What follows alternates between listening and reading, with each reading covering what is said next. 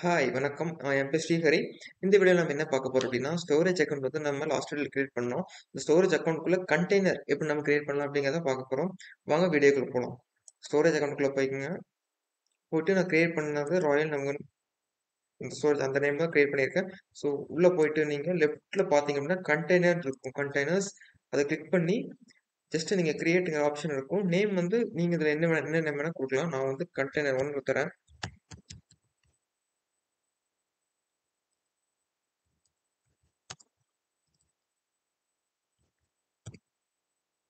Container ஒன்று தரேன். நான் வந்து இதை வந்து எப்படி எங் எங்கே ஆக்சஸ் பண்ணலாம் அப்படின்னா நான் வந்து பப்ளிக்காக ஆக்சஸ் பண்ணலாம்னு சொல்லி கொடுக்குறேன் இங்கே ப்ரைவேட் அப்படின்னா no one can access your can storage account. Blob அப்படின்னா நீங்கள் ஒன்லி ரீட் மட்டும் தான் பண்ண முடியும். ஸோ கண்டெய்னர் அப்படின்னா நம்ம ஆக்சஸ் எல்லாமே எனிவேர் எங்கே வேணாலும் நம்ம ஆக்சஸ் பண்ணிக்கலாம் அப்படிங்கிறது தான் அர்த்தம். ஓகே. நீங்கள் ஜஸ்ட் என்டர் பண்ணி க்ரியேட் கொடுத்தீங்க அப்படின்னா க்ரியேட் ஆயிடுச்சு.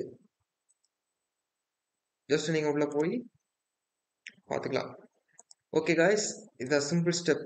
சிம்பிள் ஷார்ட்டான வீடியோ எப்படி கண்டெய்னர் கிரியேட் பண்ணலாம் ஸ்டோரேஜ் அக்கௌண்ட் அப்படிங்கிறத பார்த்தோம். நெக்ஸ்ட் வீடியோவில் உங்களை சந்திக்கிறேன். Thank you much.